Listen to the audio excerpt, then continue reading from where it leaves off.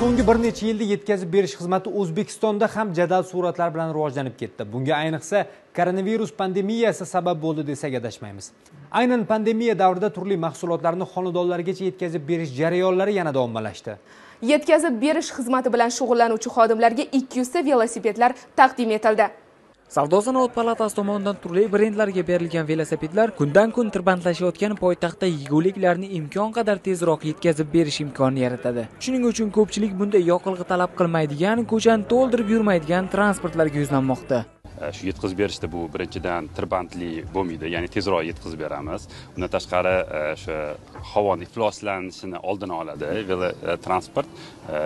Shu maqsadda hozir shu ekspress yigirma yashil transportga va yashil logistikaga ko'p e'tibor beradi kuni kecha berilgan velosipedlar tirbandlikning bir yechimi bo'lishidan tashqari ishsizlikning ham oldini olar ekan. Hisob kitob qilib qolganimizda aynan bu sohada velosipedni yetishmasligi yoshlarni ish bilan ta'minlamaslikka olib kelar ekan bizani hozir shu velosipedlarni sotib olib o'zimizdan tadbirkorlarga bir yilga bo'lib to'lash sharti bilan berdik. Ular bir yil ichida bizga pulni qaytarib berishadi. Bo'lib to'lash ortidan yashil transportni o'ziniki qilayotgan brendlar ishchilarning cho'ntagiga avvalgidan ko'proq foyda olib keladi buning ortidan. Hozirgi kunda velosipedsiz buni olib borayotganlar o'rtacha yuz ming so'm daromad qilayotgan bo'lsa bu tizim ularni daromadini ko'paytiradi va e, bizani tadbirkorlarimizni ishlab chiqarishi mahsuloti ko'payadi. Va bu esa har taraflama ham e, tadbirkorlarga manfaat va yoshlarimizga qo'shimcha ishchi o'rin to'qqiz milliarddan oshgan dunyo aholisining bir milliarddan ko'proq velosipedni o'z hamrohiga aylantirishgan. Buning ortidan sog'lig'i uchun bir qadam bosish bilan bir qatorda vaqtini ham tirbandliklarda o'tkazmaydi.